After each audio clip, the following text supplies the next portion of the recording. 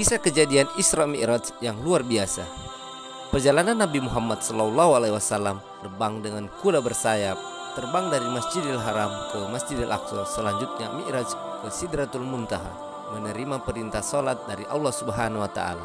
Biasanya tradisi orang Quraisy, kalau penunggang kuda yang kuat, anak muda, dan kudanya kuat, perjalanan sebulan dari Masjidil Haram ke Masjidil Aqsa. Tapi kalau mereka yang kafilah, unta-unta, dan kuda yang jalannya pelan itu biasa memakan waktu 2 sampai 3 bulan baru sampai. Setelah kejadian itu, Nabi Muhammad SAW duduk di depan Ka'bah merenungi kejadian semalam. Lewatlah Abu Jahal. Lalu dia mengatakan, "Hai Muhammad, kenapa kau kayak orang yang melongo-longo? Orang yang bingung. Kenapa?" Menurut dia seperti itu. Tapi Nabi Muhammad SAW bukan bingung.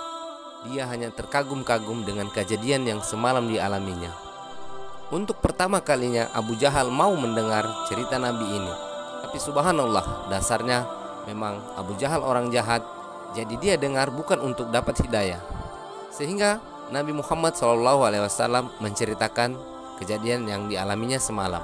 Rasulullah SAW bersabda, saya baru saja isra ke Masjidil Aqsa, naik burak, naik lagi ke langit, langit satu, langit dua, langit tiga, sampai ke langit tujuh. Saya bertemu dengan nabi-nabi di setiap langit. Ketemu dengan Nabi Yusuf, kemudian ketemu dengan Nabi Isa, ketemu dengan Nabi Yahya, ketemu dengan Nabi Harun, ketemu dengan Nabi Musa, ketemu dengan Nabi Ibrahim, kemudian juga sampai ke Sidratul Muntaha, lalu menerima perintah sholat dari Allah Subhanahu wa Ta'ala, kemudian kembali lagi ke Masjidil Aqsa dan kembali lagi ke Mekah. Kemudian Abu Jahal berkata, Perjalanan yang kami jalan satu bulan dengan kecepatan kuda terbaik kami dan anak muda terkuat kami. Pergi pulang berarti dua bulan. Dalam satu malam kau lakukan? Kata Nabi Shallallahu Alaihi Wasallam. Iya. Abu Jahal berkata, kalau saya kumpulkan masyarakat Mekah, apakah engkau mau menceritakan kejadian ini kepada mereka? Nabi Shallallahu Alaihi Wasallam berkata, Tentu saja, tetapi tujuan dari Abu Jahal bukan supaya masyarakat Mekah percaya. Ini kesempatan untuk Abu Jahal agar masyarakat Mekah mendengar berita bohong menurut Abu Jahal.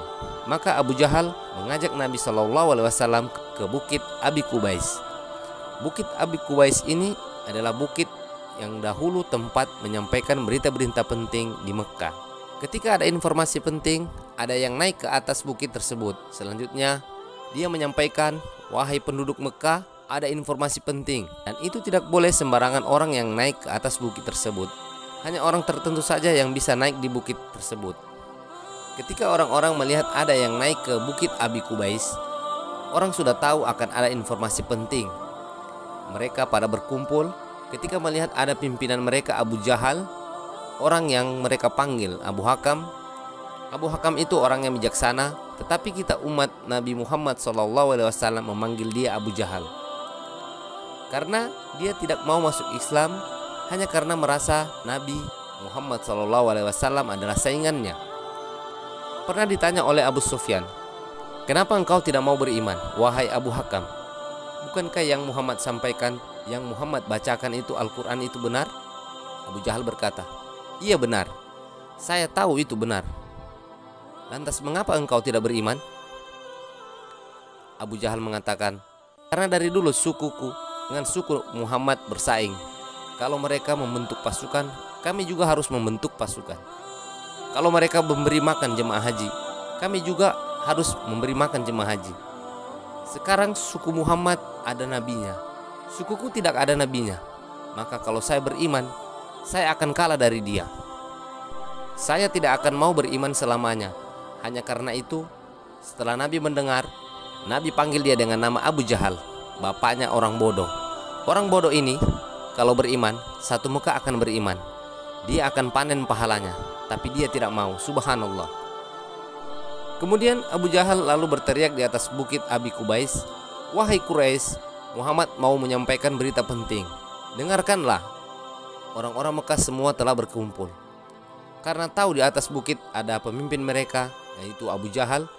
Sebelahnya ada Nabi Shallallahu Alaihi Wasallam. Kemudian kata Abu Jahal, dengarkanlah apa yang dia akan sampaikan. Kemudian Nabi Muhammad Shallallahu Alaihi Wasallam menceritakan seperti yang diceritakannya tadi kepada Abu Jahal. Setelah selesai, semua yang disampaikan, lalu orang-orang Mekah akhirnya tambah kufur. Kafir-kafir tambah kafir. Mereka berkata, tidak masuk akal Muhammad dan ceritanya yang tadi. Sebagian juga sahabat bimbang, tapi mereka yakin ini adalah nabi. Mereka berpikir bagaimana cara menanggulangi karena harus berhadapan dengan orang-orang kafir Quraisy.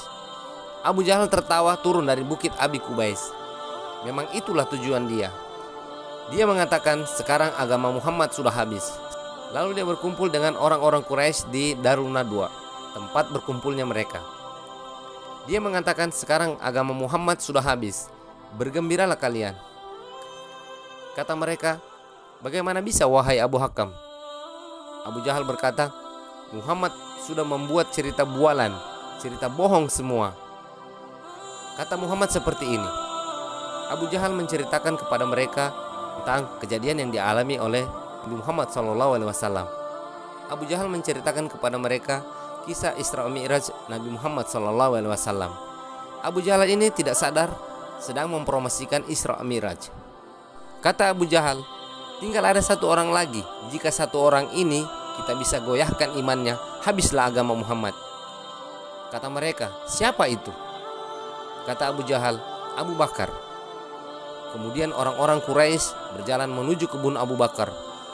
Ketika orang-orang Quraisy jalan ke kebun Abu Bakar, kebetulan di pinggir kota Mekah, orang-orang beriman juga para sahabat ada yang ikut dari belakang. Pertama kali orang beriman dan orang-orang kafir berjalan bersama. Ketika sampai di kebun Abu Bakar, teriaklah Abu Jahal, "Wahai Abu Bakar, keluarlah!" Abu Bakar lihat pertama kali tokoh-tokoh Quraisy di belakangnya ada orang-orang Muslim. Maka Abu Bakar berpikir mungkin orang muslim lagi ditawan. Sepertinya harus ditebus. Abu Bakar seorang yang sering menebus sahabat-sahabat. Maka Abu Bakar mengatakan, "Ada apa wahai Abu Jahal?" Abu Jahal mengatakan, "Sesungguhnya temanmu Muhammad sudah bercerita bualan, dia sudah berdusta." Muhammad mengatakan seperti ini. Maka Abu Jahal menceritakan kepada Abu Bakar. Abu Bakar sama sekali belum mengetahui cerita kejadian Isra Mi'raj dan Abu Jahal sekarang mempromosikan lagi Isra Miraj kepada Abu Bakar. Tujuannya supaya Abu Bakar juga mengatakan tidak percaya. Ternyata Abu Jahal dikagetkan karena jawaban Abu Bakar berbeda. Abu Bakar mengatakan, "Wahai Quraisy, sedangkan wahyu turun dari langit kepada Nabi Muhammad SAW, saya percaya dan yakini. Apalagi dia naik ke langit, sama saja tidak ada yang beda. Bila beliau naik ke langit, atau beliau terima wahyu di bumi itu sama saja. Dan saya beriman kepada beliau. Riwayat lain mengatakan, Abu Bakar mengatakan, "Wahai Quraisy, ketahuilah, jika depan mata saya ada tembok warna putih, kemudian Rasulullah wasallam mengatakan itu hitam, saya akan bohongkan mata saya, lalu saya katakan, "Iya, itu hitam." Maka akhirnya Abu Jahal terpatahkan hujahnya dan akhirnya meninggalkan Abu Bakar. Abu Bakar tahu ini adalah masalah. Abu Bakar bertanya kepada sahabat, di mana Rasulullah SAW? Sahabat mengatakan, ada di bukit Abi Kubais. Abu Bakar datang menemui Rasulullah. Abu Bakar jalan sambil mengatakan, Ya Rasulullah, Abu Bakar mengangkat suaranya agar terdengar oleh masyarakat yang ada di bukit itu.